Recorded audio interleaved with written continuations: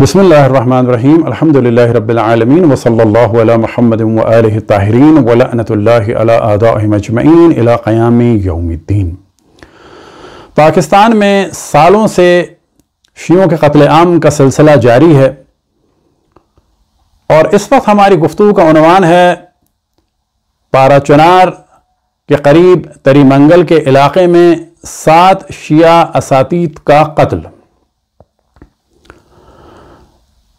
अब इस हमारी गुफ्तु को हम तकसीम करेंगे मुख्तलिफ़ उनवान से और जो हमारे मुखातब होंगे, वो भी मुख्तलिफ़ होंगे।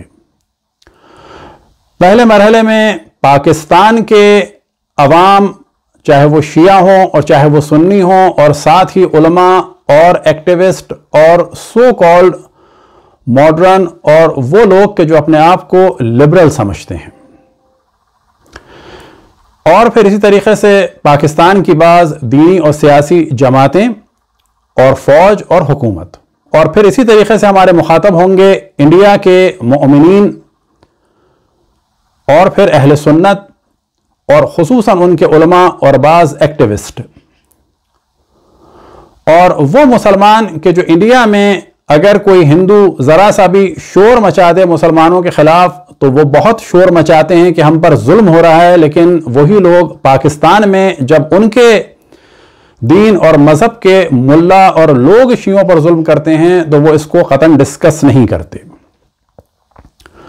इसी तरीके से इंडिया की सियासी जमातें, चाहे वो आरएसएस हो और चाहे वो कांग्रेस हो, उनको भी हम मुखातब करके कुछ अपनी आरइस पेश करेंगे। तो सबसे पहले हम तवज्जो दिलाएँ कि 4 मई 2023 को पाकिस्तान के शुमाली इलाके पाराचनार के करीब, पाक अफगान सरहद के करीब, के जहाँ पर जगह जगह चौकियाँ बनी हैं, कोई आ नहीं सकता। वहाँ पर एक इम्तहानी मरकज़ में सात शिया असातीत को कत्ल किया गया। बेदर्दी से ये दहशत गर्दी का वाक़ नहीं था। ऐसा नहीं था कि फायरिंग करके चले गए, बल्कि उनको ला के कमरे में बंद किया गया। और ये कहा गया कि आपकी जान को ख़तरा है, होना ये चाहिए था।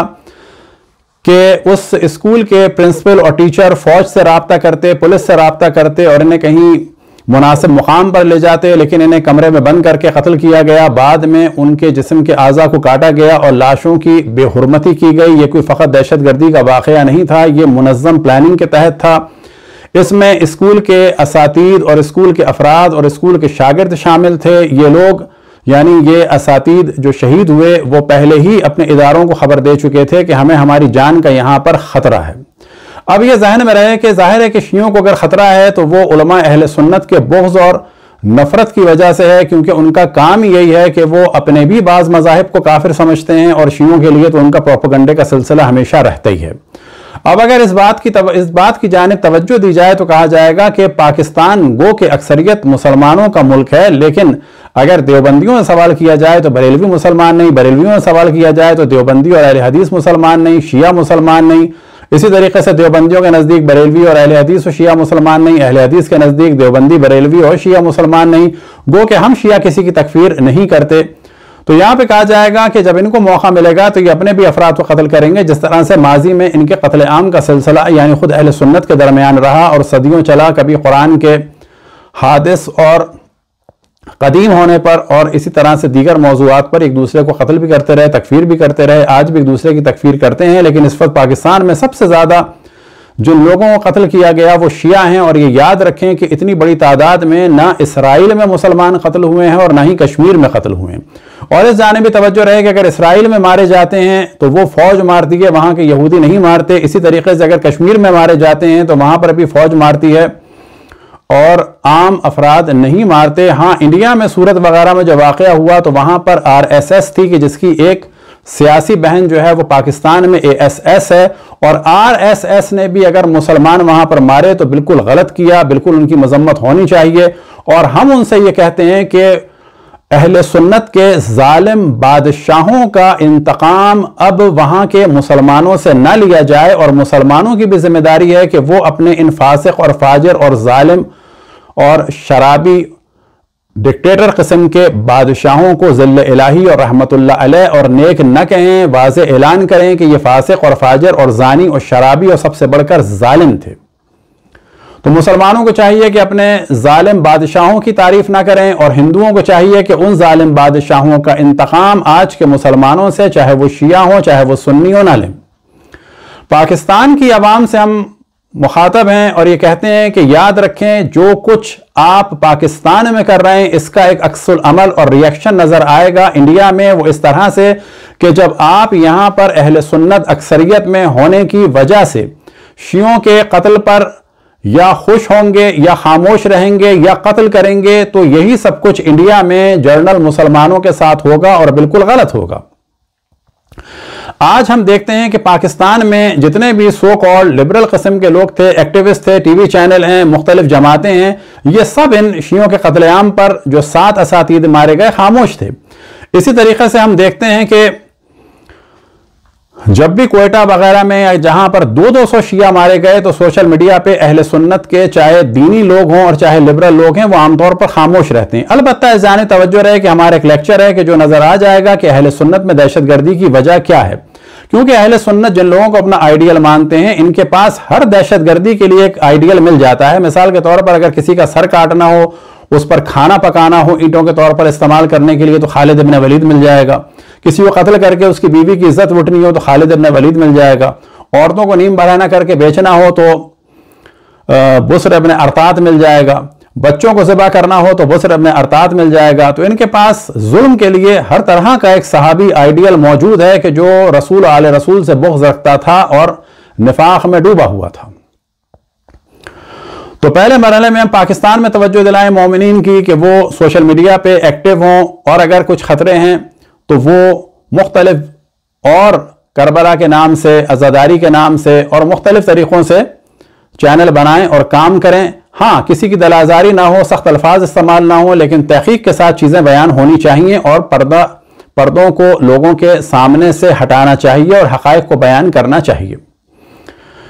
अहले सुन्नत के जो एक्टिविस्ट और सो कॉल लिबरल लोग हैं और पढ़े लिखे लोग हैं, वो ये याद रखें कि अगर आप जुल्म पे खामोश रहेंगे तो ये जुल्म बढ़ता चला जाएगा, जिस वक्त पाकिस्तान में देवबंदियों की पावर बहुत बढ़ जाएगी, वो जिस तरह से आज शियों को कत्ल कर रहे हैं, वो बरेलवियों को भी कत्ल करेंगे और उसका एक जलवा आपको नज़र आ चुका है कि जब बारह रबी अव्वल को रसूल अल्लाह सल्लल्लाहु अलैहि वसल्लम के जश्न विलादत पर हमला किया गया। इसी तरीके से मुख्तलिफ़ उन दरबारों पर, दरगाहों पर हमले किए गए कि जो अहल सुन्नत से रिलेटेड थे, इसी तरीके से देवबंदियों ने जिस तरह से बरेलवियों की मस्जिदों पर कब्जा किया यह भी कोई छुपी हुई चीज़ नहीं है।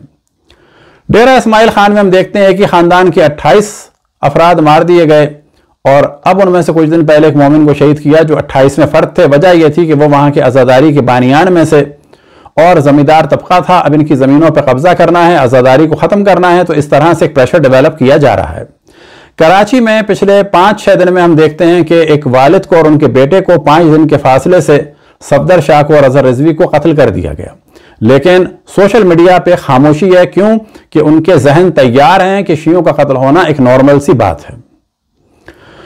अब हम यहाँ पर तवज्जो दिलाएँ कि वो जमातें, चाहे वो जमात इस्लामी हो, जमीयत हो, जमीयत इस्लाम हो, जो भी हो, जब ये मुतहदा मजलिस अमल में बैठते हैं मिली यकजहती कौंसिल में बैठते हैं और हफ़्ते वहदत में आते हैं तो इनकी अकलों पे क्यों पर्दे पड़ जाते हैं? इनके नफाक का ये जलवा ज़ाहिर होता है कि जब शियों का कत्ल आम होता है तो ये आमतौर पर खामोश होते हैं। जिस तरह से अभी सात असातीत के कत्ल पर ये लोग खामोश थे। सरहद के इलाके के बारे में याद रखें कि हिंदू और सिखों का कत्लेआम भी कि जो आमतौर पर सिखों पर डाल दिया जाता है, सिखों ने ज़्यादा कत्लेआम किया, लेकिन वो रिएक्शन की सूरत में था। पंजाब जेनोसाइड का जो कत्लेआम शुरू हुआ, वो सरहद के इलाके से और पंजाब के बाद इलाकों से 46 में शुरू हो चुका था, जिसका रिएक्शन जो है वो 17 अगस्त 1947 के बाद सिखों ने दिया और वो बड़ा शदीद रिएक्शन था। चार लाख हिंदू और सिख मुसलमानों ने मारे और छह लाख उन्होंने मारे। तो ये भी जहन में रखना चाहिए कि इस जुल्म की इब्तदा भी अहल सुन्नत उलमा और चाहे वो बरेलवी हो चाहे वो देवबंदी हो और पीर मुरीदी टाइप के लोग हों उन लोगों ने पाकिस्तान में शुरू की थी और उसका रिएक्शन फिर बाद में नज़र आया। खान अब्दुल गनी खान की किताब है द पठान और उसके बारे में हम से डिस्कशन कर चुके हैं और उन्नीस सौ उनतीस में भी वादी तीरा में एक शीयों का कत्लेआम हुआ था। इसी तरीके से कश्मीर में दस दफ़ा शीयों का कत्लेआम हो चुका है। तो इतनी बात वाज है कि अहल सुन्नत के मिजाज में कत्ल आम है, चाहे वो कभी इंडिया में उनके बादशाह आके कत्लेआम करें और चाहे कभी ऑटोमैन एम्पायर यानी उस्मानी बादशाहों ने आर्मीनियंस का कत्ल किया हो कि जो तकरीबन डेढ़ मिलियन यानी पंद्रह लाख ईसाई आर्मीनी कत्ल किए और दुनिया के बड़े जैनोसाइट में से एक बड़ा जैनोसाइट व कत्ल आम का जो बाज़ार गर्म किया, वो उलमा अहल सुन्नत के फतवे पर अमल करते हुए उस्मानी बादशाहों ने किया कि जिसका एक जलवा और रिएक्शन बाद में नज़र आया बोसनिया हर्जोगोवनिया की जंग की सूरत में। बस हकायक को हमारे यहाँ आधा आधा बताया जाता है और अपने जुल्म को उमूमन अहल सुन्नत छुपा देते हैं। मुमकिन है कि इस वाक़े को आजकल क्योंकि इमरान खान साहब के जो मसाइल चल रहे हैं तो उसके हिसाब से फौज पर डाल दिया जाए तो इस वाक़े का ताल्लुक फौज से बज़ाहिर बिल्कुल नज़र नहीं आता। हाँ मुमकिन है कि जो पिशावर में स्कूल का वाक़ हुआ, उसके से कोई फौज का ताल्लुक हो, क्योंकि जिन लोगों ने कत्ल किया, फौज ने उनको कोई सजा नहीं दी और माफ़ कर दिया। और वो शायद लिंक ये हो सकता है कि 16 दिसंबर 71 को ढाका फॉल हुआ और इस दिन को छुपाने के लिए इन्होंने एक नया दिन बना दिया कि जो आर्मी पब्लिक स्कूल पेशावर का, जहाँ पर 144 बच्चे मारे गए। ये तो एक लिंक मुमकिन है, लेकिन सात असातीद का कत्ल ये फौज पे नहीं डाला जा सकता, क्योंकि इसमें स्कूल के असातीद प्रिंसिपल और शागिर्द शामिल थे।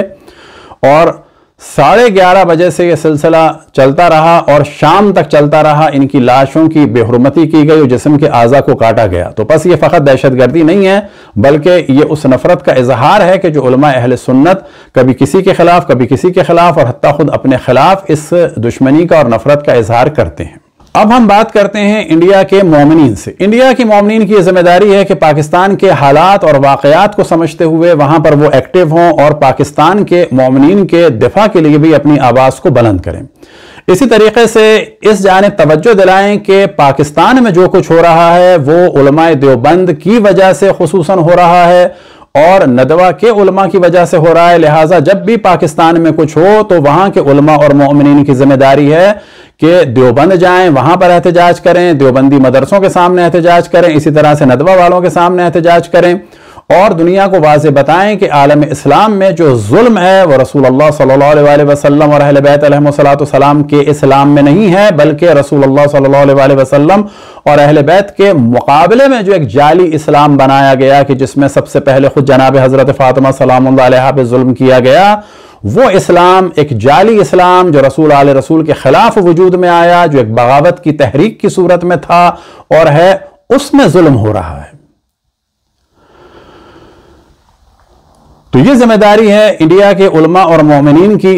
अब हम मुखातब करते हैं इंडिया की जो इस वक्त एक जालिम फाशिस जमात है आर एस एस कि आप अहल सुन्नत के फासिक और फाजर और जालिम बादशाहों, चाहे वो महमूद गजनवी हो, चाहे वो तैमूर लंग हो, चाहे वो नादिर शाह हो, चाहे वो अलतुतमुश हो, चाहे वो रजिया सुल्तान हो, और चाहे वो मुग़ल हों, और चाहे वो अबदाली वगैरह जैसे होंडे हों, इनका इंतकाम मुसलमानों से न लें। और मुसलमानों की ज़िम्मेदारी है कि इन दहशत गर्द किस्म के अफराद के जिनको आपके मुल्ला जिल इलाही बनाते रहे, इनकी आप मजीद तारीफ़ करके इस्लाम के चेहरे को मस्क न करें और जर्नली मुसलमानों को वहाँ पर हलाकत में न डालें। और माने इस बात को कि आपके अहले सुन्नत बादशाह हमेशा जुल्म करते चले आए हैं, चाहे वो बनु उमैया के हों, चाहे वो बनु अब्बास के हों, और चाहे इनसे पहले के बादशाह हों कि जिन्होंने रसूल आल रसूल पर जुल्म किया। अब हम तवज्जो दिलाएँ कांग्रेस की। तो ये ज़िम्मेदारी है मोमिन की कि राहुल गांधी जी की तवज्जो दिलाएँ कि आपके नाना को धोखा दिया था देवबंद के हुसैन मदनी ने, गो के वो एक फाशिस्ट और एक फितना परवर शख्स था, लेकिन उसने अपने आप को सेकुलर ज़ाहिर किया और फ़ायदा उठाने के लिए और आज उन्हीं का बेटा है जो देवबंद के, वहाँ के सरबरा हैं। उनसे सवाल किया जाए कि अरशद मदनी साहब, आप क्यों नहीं बोलते पाकिस्तान में आप लोगों के उलमा की वजह से जो शियों का कत्ले आम हो रहा है? आप क्यों नहीं कहते कि पाकिस्तान में भी सेकुलरिज्म होना चाहिए? आप क्यों इंडिया में फकत सेकुलरिज्म की बात करते हैं? आप लोग अगर एक मुसलमान के साथ जुल्म हो जाए, इंडिया में तो आप शोर मचाते हैं, लेकिन दो दो सौ शिया कत्ल हो जाएँ तो आपकी जबान में हरकत क्यों नहीं होती? क्योंकि आप लोग इस कत्ल आम से राज़ी हैं। इंडिया ही के एक मशहूर आलम दीन, के जिनका नाम था मंसूर नोमानी, के जिन्होंने एक फतना परवर किताब लिखी शियों के खिलाफ, और सिपाह सहाबा ने उसी किताब के बलबूते पर पाकिस्तान में जुल्म के बाज़ार को गर्म किया, और वही किताब और इनके अलावा बाकी दीगर किताबें भी सबब बनी कि पाकिस्तान में शीयों के खिलाफ महाज बने।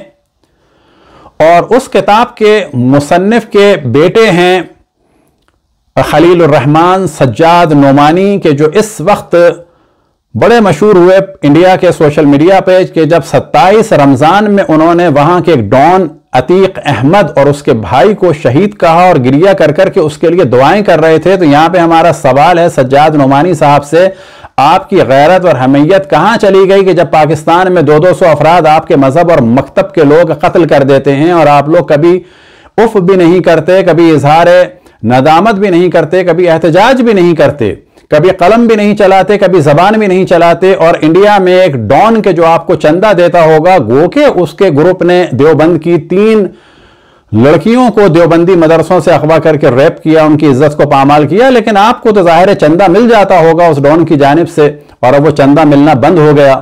तो ज़ाहिर है कि अब आपको गिरिया ही करना है सत्ताईस रमज़ान की रात को, और उसको शहीद ही कहना है, क्योंकि आपको एक नया डॉन चाहिए होगा जो आप लोगों को सपोर्ट करे।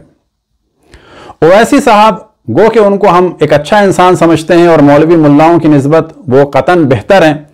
उनसे भी हमारा सवाल ये होगा कि याद रखें कि जिस तरह से अहल सुन्नत और खसूस देवबंद के उलमा पाकिस्तान में, अब अहल सुन्नत से मुराद अवाम नहीं है। अवाम बेचारे मासूम है, उन्हें पता ही नहीं है कि रसूल आल रसूल के साथ क्या हुआ, उनके बड़ों ने क्या किया, उनके उलमा किस कस्म के उनको बेचारों को पता ही नहीं है। लेकिन ओवैसी साहब से गुजारिश है कि आप जब पाकिस्तान में शिया कत्ल हो, उस पर भी एहतजाज करें, उसे भी कंडेम करें। क्यों? कि अगर ये वहाँ पर नॉर्मल हुआ, यानी पाकिस्तान में तो इसी तरीके से आरएसएस के ज़रिए से हिंदू मुसलमानों को कत्ल करेंगे। और हिंदुओं से भी ज़ाहिर है हमारी मुराद है कि आरएसएस के दहशतगर्द किस्म के हिंदू, ना कि अच्छे और लिबरल किस्म के और मासूम किस्म के हिंदू। तो जब तक आप जुल्म की मुखालफत नहीं करेंगे, उस वक्त तक अपने मुल्क में आप कभी भी जुल्म की मुखालफत करते हुए अच्छे नहीं लगेंगे। सलमान नदवी साहब, माशाल्लाह, खुल के बोलते हैं, उन्हें भी बोलना चाहिए कि जो कुछ शीयों के साथ हो रहा है, क्या ये सही है या गलत है?